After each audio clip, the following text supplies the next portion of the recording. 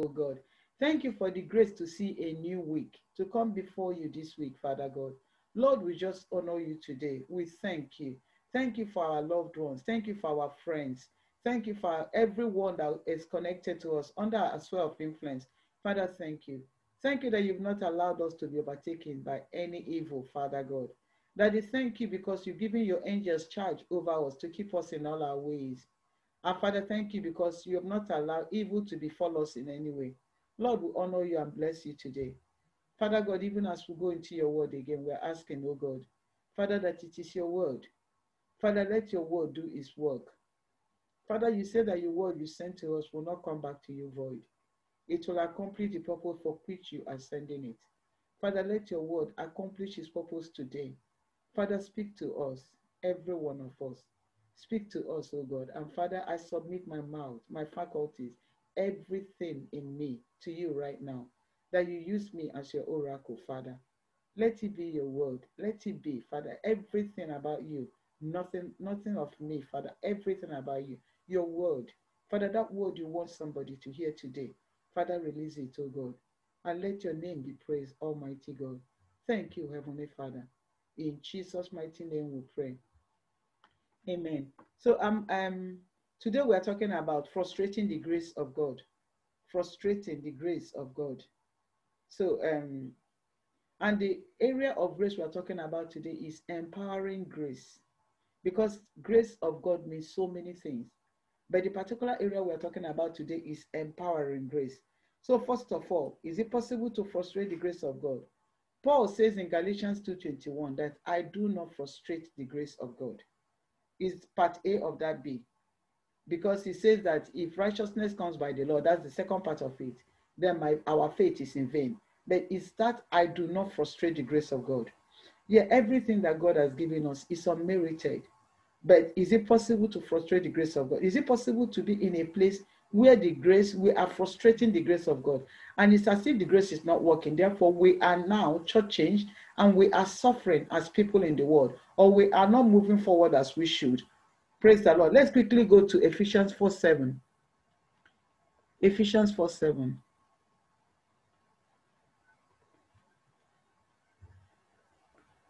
Frustrating the grace of God. So it's possible. And um, with this frustrating the grace of God also is the idea that we are accountable for what we are given in the kingdom of God. God expects us to account for the gifts because the grace of God, if you think about it, the grace of God is custom designed, made to fit us. Everybody's grace is, div- is different. He says, unto everyone has been given the measure of measure of grace, measure of uh, faith. But then it's custom built. Every single one of us is made to fit us, our personalities, our everything, everything we are. The grace of God is made to fit us. So, and the, the gifts are part of the grace.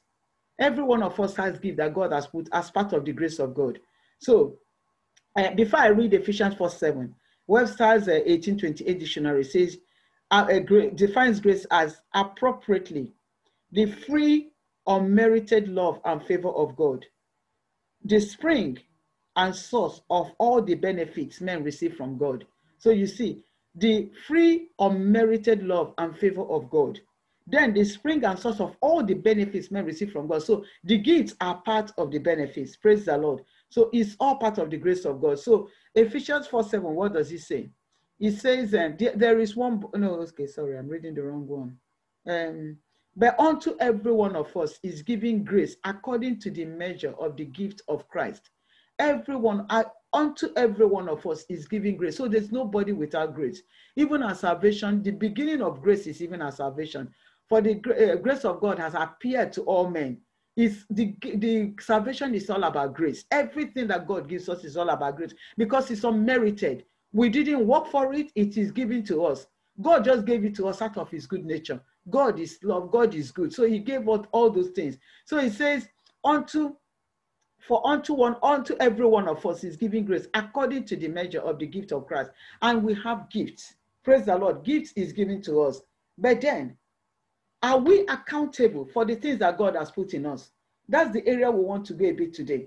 Are we accountable for these gifts? Is it possible that we can just allow it to stay there and then? And then at the end, is it okay with God? Is it really okay with God? What's accountability? The state of being liable to answer for one's conduct, liability to give account, and to receive to receive a reward or punishment for actions. You see? So could is it possible? And the Bible, everything is backed by the Bible. That at the end, Paul says, I want to receive well done, that good and faithful servant. Is it possible to receive the negative in spite of what God has done? It's very possible. And that's why we're sharing what we're sharing, so that we do not frustrate the grace of God. Let's quickly go to Mark chapter 4. Mark chapter 4, and we'll take that parable again parable of the sower.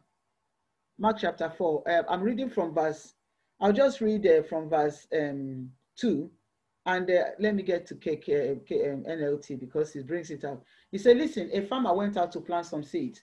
As he scattered it across some fields, his field, some of the seed fell on a path, and the birds came and ate it. Other seed fell on shallow soil with underlying rock. The seed sprouted quickly because the soil was shallow, but the plant soon wilted under the hot sun. And since it didn't have deep root, it died. Other seed fell among thorns that grew up and choked out the tender plant so they produced no grain. Still, other seed fell on fertile soil and they sprouted, grew, and produced a crop that was 60, 30, 60, and even a hundred times as much as had been planted. So again, he said, then he said, anyone with ears to hear should listen and hear. You go through the Bible, you see Jesus always saying, He that has ears to hear, let him hear. What's that all about? Do, don't we all have ears? But it's a particular he, uh, type of hearing that he's referring to. It is inclination towards the Spirit of God, opening our eyes to the Spirit, and then He gives us the ability to understand. So even in that alone, if so, if we don't incline our ears to the Spirit, we will not hear. So it's not just hearing. You can hear me physically now, but your spirit is receiving this word. So there are two levels of hearing. So if you incline your head to hear, to hear, I open your spirit, then you receive. Praise the Lord. But why are we going in this one? Now let's go to uh, 43, 23 of that um, of that of this uh, place I've read. Number one, you know that there are levels of heart here. That's not what we want to talk about. But if you remember, every single one of them, every single one of them, the constant is the earth. The soil doesn't change. The soil is the uh, um, is uh, no, okay. No, I'm talking about the wrong. The soil changes. It's what is contained in the soil that is making the difference. The seed is perfect. Every the word of God is perfect. It's not corruptible. The Bible says we are born again of corrupt of incorruptible seed. It doesn't. It's not like some seed that are faulty. You know, like if you are if you're a farmer, you see some corn that is hollow. That seed will not germinate. God's word is incorruptible seed. It's perfect. So it will produce anytime the condition is right. So the variable is not God's word. God's word is always perfect. Always perfect. So the, the Bible says that God is not a respecter of person. So even his word is not a respecter of person. Whenever that word is put to use, it will produce automatically. That's how God function, uh, made it. The differences are the different types of soil that the seed is planted in. And that is the state of our hearts. Praise the Lord. So if it is the state of our heart, heart A is different. And if you could get to this parable, 25% of the heart is what produced. Only 25%. My question to you today, are you among the 75 are you among that special 25 that produced? And even in the 25%, there is 30, there is 60, there is 100 fold. You determine where you belong. You determine. Now let's go to 23 of this um, um, 23. It says, um, um, it says, anyone with ears to hear should listen and understand. Again, you see again, if you have ears to listen, to hear, listen and understand. Then pay close attention to what you hear. We were just talking this morning about some of the things that can create um, seduction.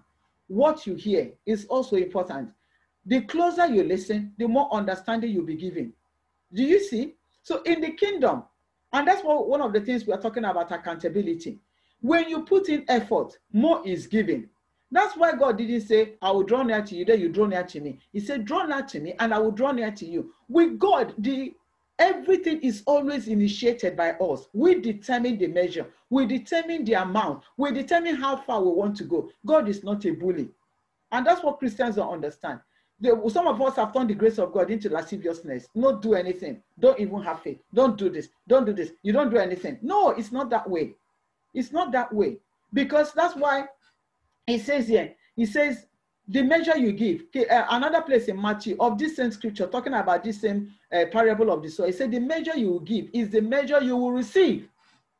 The measure you give is the measure you receive. So if you're not putting in any measure, if you're not doing anything, then nothing comes back. Nothing comes back. He says, okay, and you receive even more. Say, the more understanding you'll be given, and you'll receive even more. To those who listen to my teaching, more understanding will be given. So if I'm reading to understand, if my spirit is open, then God will give me more. See, in the kingdom, God, God doesn't, uh, unfortunately, God doesn't uh, countenance laziness. God doesn't countenance un, unproductivity. That's why we've been praying about um, bearing fruit during our Friday um, prayer and uh, teaching. Bearing fruit, because God doesn't accept it. Praise the Lord. He says, then he said, for those who are not listening, even what little understanding they have will be taken away from them. Do you see how things work in the kingdom? Now, if you don't use what you are giving, you are in danger of losing even that you have. And I keep saying it, and that's how it is sometimes. And it's a very uh, sovereign thought because in the world system, it's like, okay, take from the person that have more, equalize. That's how the world thinks. That's socially equalize. Take from the rich, give to the poor. The poor that are not doing anything. It's not the whole idea here is not to uh, say whether they, uh, it's not about um, what is right or what is not right. But God is not a Democrat. God is not socialist. God's own is different. God's system is different. God expects you to do. And because God is a fair God, we're going to see it. He says it is constant build, your gifts. And God doesn't expect you to give more than what He has given you. He will expect you to produce according to the gifts and callings of God He has put in your life. So, because if if if God is unjust, He will say, eh, "Okay, you, I gave you three. We are going to read the parable of the talent very soon, and then you you should bring this." No, God is not like that. God is a righteous judge. Praise the Lord. So, again, let's go to 26 of that uh, scripture before we move on to uh, 26. Um, it says, The kingdom of heaven is like a farmer who scatters seed on the ground night and day night and day, while he's asleep or awake, the seed sprouts and grows, but he does not understand how it happens. I keep saying the earth is just made to bring out whatever is sown in it. That's how it is. Your heart is made to bring out whatever you are sowing in your heart. That's what will produce. Unfortunately, this thing will work in the positive and it will work in the negative. If my heart brings out anything, so if all I'm doing is just as we discussed today, if I'm fellowshipping with movies that are not really um, godly and stuff, what will what am I planting in my heart? That's what my heart will produce. It's as simple as that. And it's unconscious. The heart must always produce something. Garbage in, garbage out. It's automatic. So if I'm consciously then, like a farmer who's scatters seed, if I'm not planting the word of God in my heart, night and day, something is happening. You don't need to see because with God, with, with the things of God, we don't need to see it. It's not something we'll feel, it's not something we taste. All you will notice is that there's result. You so it says night and day, while you are sleeping and waking up, does not, not tell you of constancy. While you're sleeping and waking up, as long as you're doing what you're doing, the the seed sprouts and grows. Grows but you don't understand how it happened because it's been structured by default. I keep saying that ordinary earth will try to produce anything. That's why even a pole, a pole that you use to uh, hang clothes, the earth will try to start um, germinating that pole. It's not succeeding. That's why that bottom is rotted. The earth is doing its job. It will always do its job. And the earth is like our heart. It will always do its job. Our job is what are you planting? What are you planting in your heart? What is your heart receiving? Praise the Lord. And you say, What you are hearing too. What you are hearing. Take heed. Take heed. What you hear. What you hear. What you hear. And it's very important. If I'm hearing the word of God all the time, because faith comes by hearing and hearing the word of God, what will happen? Automatically, my faith will increase. I keep saying it. I know this one, I know it works. Before, I never thought that even news, constantly listening to news will affect me in any way. And I used to listen to news all the time. Even when I'm studying, I'll put BBC News or whatever behind the scenes. I need to be. But what does news? I want to tell you everything about news. Hardly do you have good news. That is, you will not hear, oh, everything is right. Everybody, the sun is shining today. Yeah, they will say the sun is shining with the weather, but they will say everything is okay. What makes news is bad news. That's what makes news. So what am I hearing all the time? So tsunami here, trouble here, blah, blah, blah, constantly going in. I was struggling with my faith. I was struggling. And I didn't know why I didn't, I wasn't operating. I didn't know why. And that's the, the problem with a lot of Christians. What we are hearing, we are hearing all the negatives in this world. So how do you expect, how do you expect to prosper with those news, with the things you hear? Outside of it, some people even go as far as listening to uh, secular music. And secular music will talk about a lot of rubbish. Some of them are curse words. What are you feed? What are you listening to? What are you listening to? He says here, what you're putting in is what you will get out. Your heart produces, whether you know it or not, whether you're conscious about it or not. Praise the Lord. So he says, first a blade, the earth produces the crops on its own. It doesn't struggle. This is what it is made to produce. Your heart doesn't struggle to produce. The problem is what you're feeding it in. What you're feeding it in. First, a leaf. A leaf blade pushes through. Then the heads of wheat are formed. And finally, the grain ripens. And as soon as the, harvest, the grain is ready, the farmer comes and harvests it with a sickle, for the harvest time has come. So, eh, sure banker, whatever you're putting in, you will harvest it. Whatever you are putting in, you'll harvest it. But my prayer today is that if you've been putting in negative things, if you've been planting evil, bad things, bad words, bad seeds, you will reap a crop failure today in the name of Jesus. So that is what the word of God is saying. Praise the Lord. So now, um, let's go to Matthew 25. Remember when we are talking about accountability in the kingdom? Matthew 25. Matthew 25. Praise the Lord. For, from verse 14. From verse 14, he says, um, Matthew 25 from verse 14. He says, the, again, the kingdom of heaven can be illustrated by the story of a man going on a long trip. He called together his servants and entrusted his money to them while he was gone. He gave five bags of silver.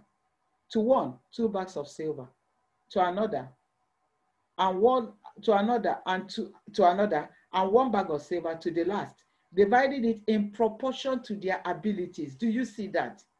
So our Father is not unrighteous according to their abilities. He then left on his trip. So this is referring to, it's like God.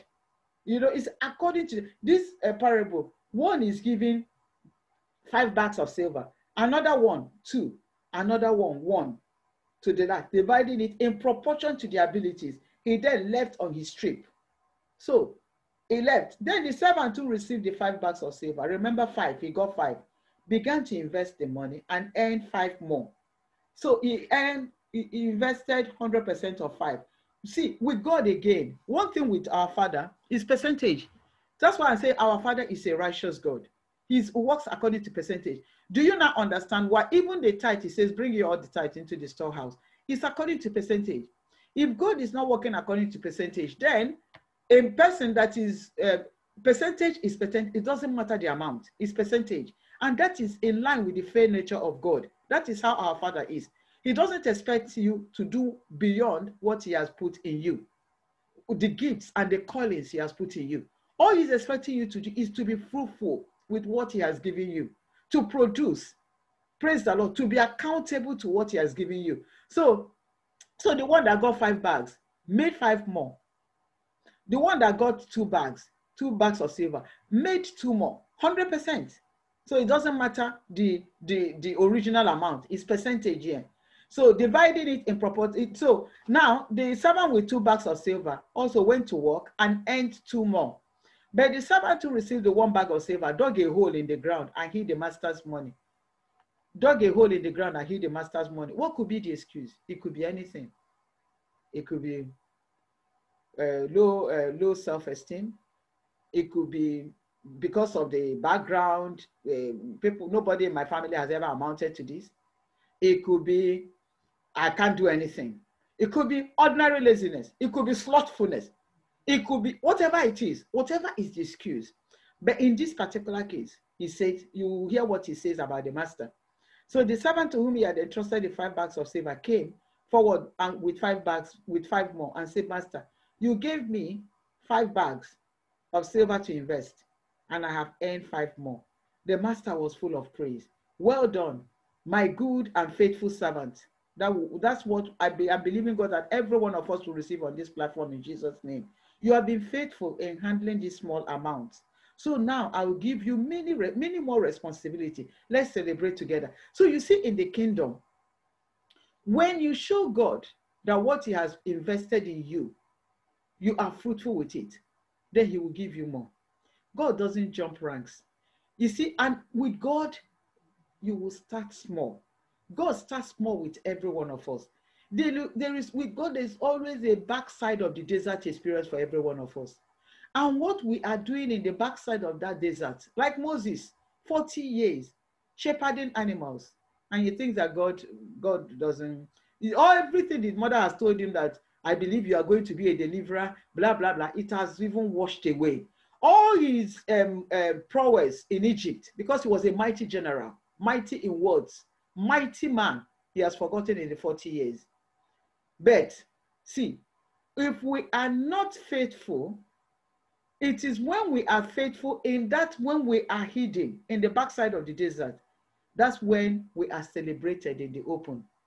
And what we do, those little, little things we do when we are forgotten in that backside is what determines our promotion because this is how it works in the kingdom. When we are faithful with the little that God has given to us, He's going to promote us. God promotes us. But some people they don't want they even in the faith the little that God has given they have failed God. I don't even want to go into the area of money here, but what are you doing? God expects us to be accountable. God expects us to produce with whatever little. Some of us may be crying out to God, Lord, prosper me, Lord, prosper me, Lord, prosper. And God is watching you with what He has given you. Remember, it's according to percentage.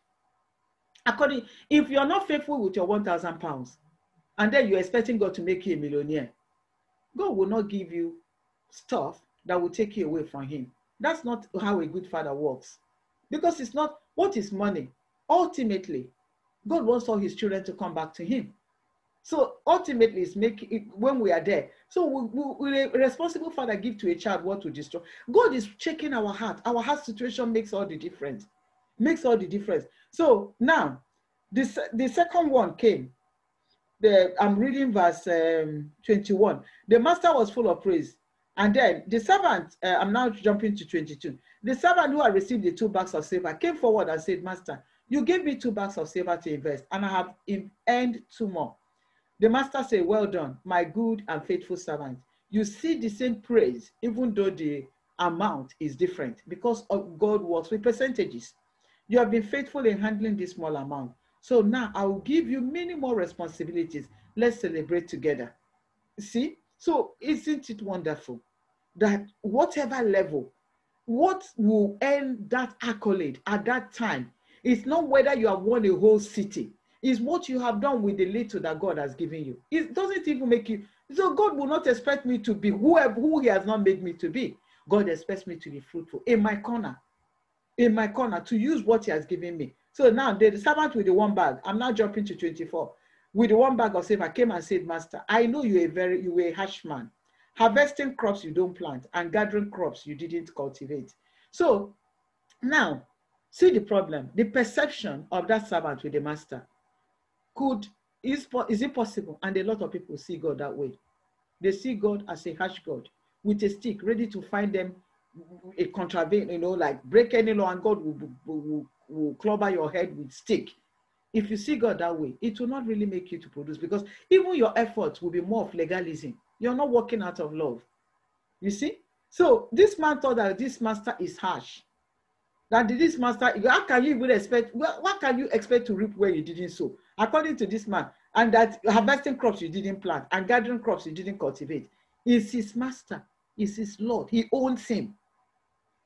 God is our Lord. He owns us.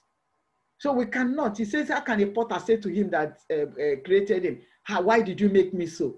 It's not your right. It's not your right. We are creatures. We, he made us. He made us.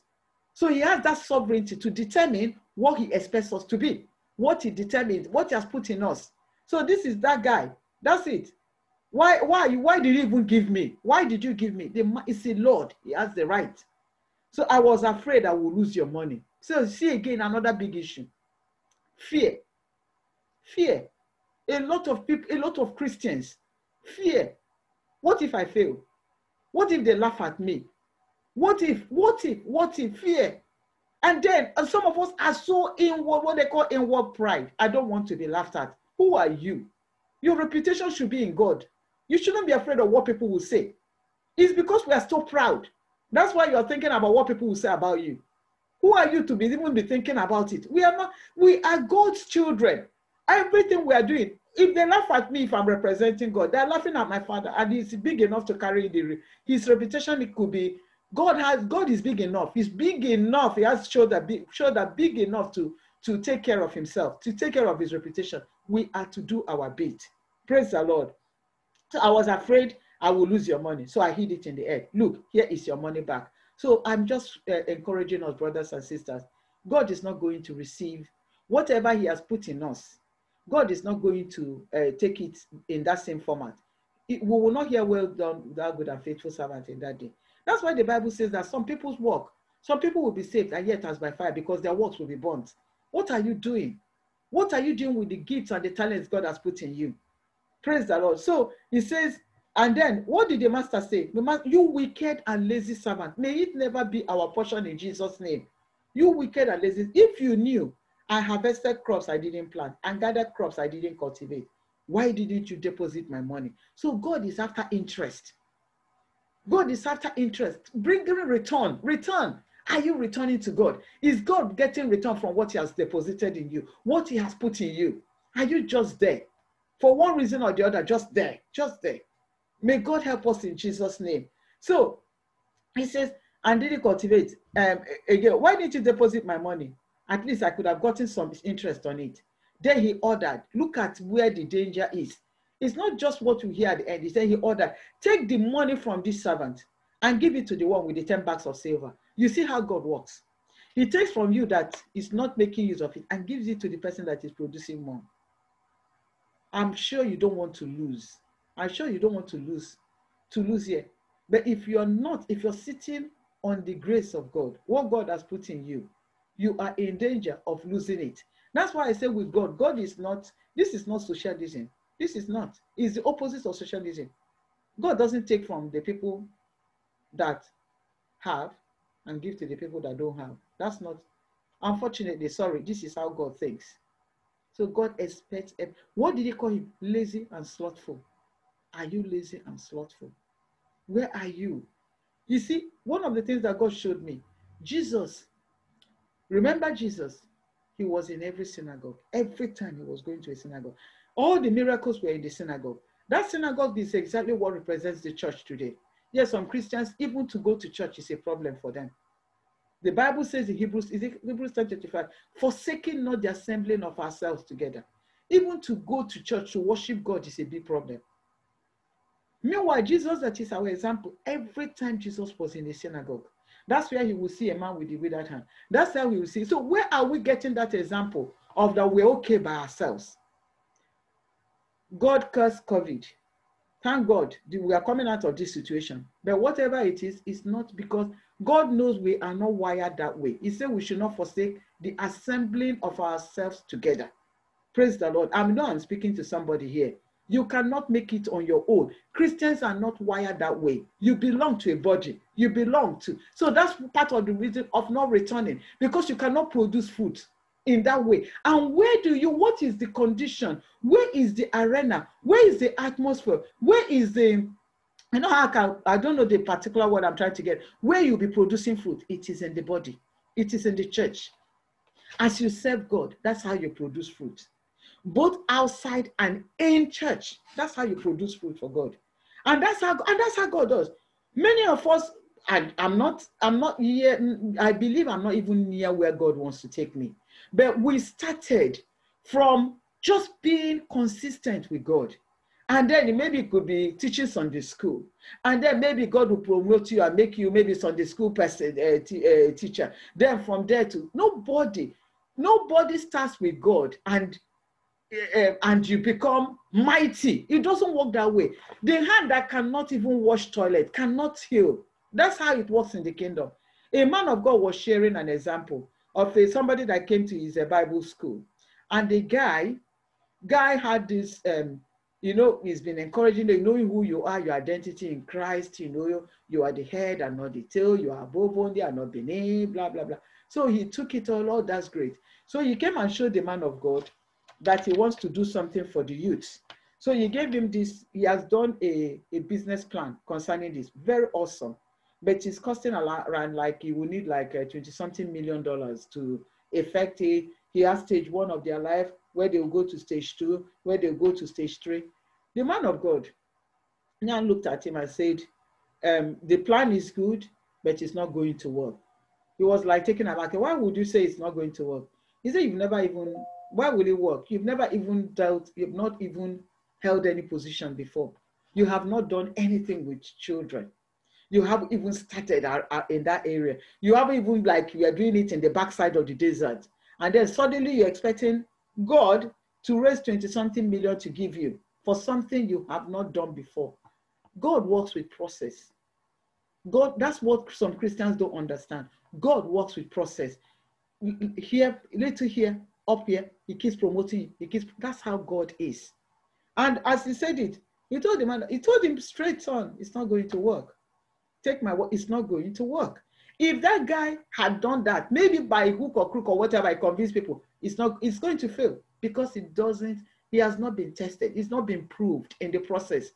So this is how. So the the the body of Christ gives us opportunity, and that body of Christ, your area of service may be your local church where you are planted. Serve God in that area. Serve God. Whether you are IT, whether you are doing a, a, a, arranging chairs, whether you're children's ministry, whatever it is, serve God to the utmost of your ability. That is that one, the talent that God has given you. As God sees you that way, He will increase your kingdom responsibility. That is how God works. Praise the Lord. That is how God works in the kingdom. So now, you remember that place we read again, um, Mark 4, 24 to 25. Let's quickly go there again. Now, but I just wanted to do so before we go there. Matthew 25, he says, and the, he says, take the money from this servant. I give it to the one with the 10 bags of silver. To those who use well, to those who use well what they are given, even more will be given, and they will have an abundance. You see how abundance works in the kingdom. But to, from those who do nothing, may you not belong to this category. For those who do nothing, even what little they have will be taken away. Now throw this useless servant into outer darkness where they will be weeping and gnashing of teeth. It will never be your portion in the mighty name of Jesus. But do you see where that servant ended up? Do you see where he ended up? May it not be our portion. Praise the Lord. See where he ended up. Okay, so let's quickly go again to that Mark 4 that I read again, because it's substantiating Mark 4, Mark 4, 23 again to 25. I just, I read it before. See, um, 23 to 20. Yes, it says here. Anyone with ears to hear should listen and understand. Pay close attention to what you hear. The closer you listen, let me read it in a KJV.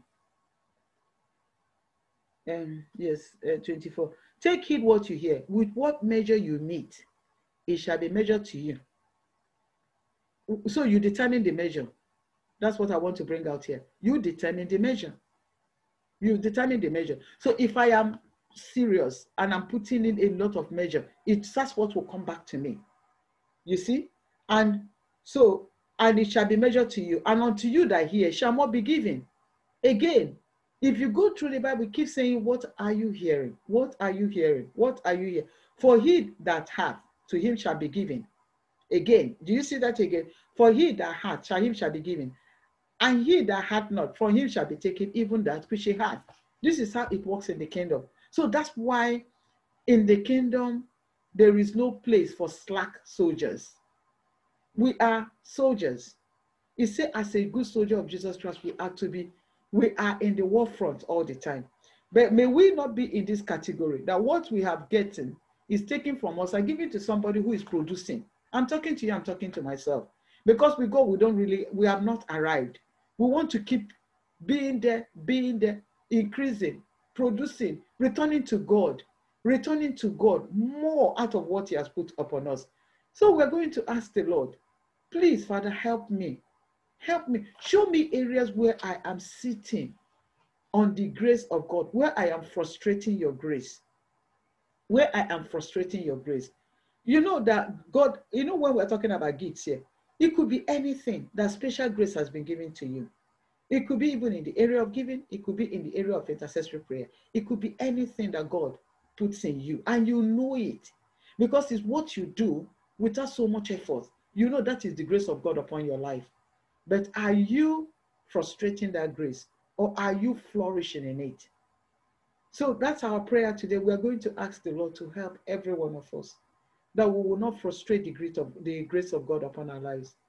That we, will not be like this servant that his gift, the talents was taken, the money was given, the deposit was given to somebody else who's producing. That will begin to make produce in the kingdom. Let's begin to pray. Let's begin to let's ask God to help every one of us. Let's ask God to help us.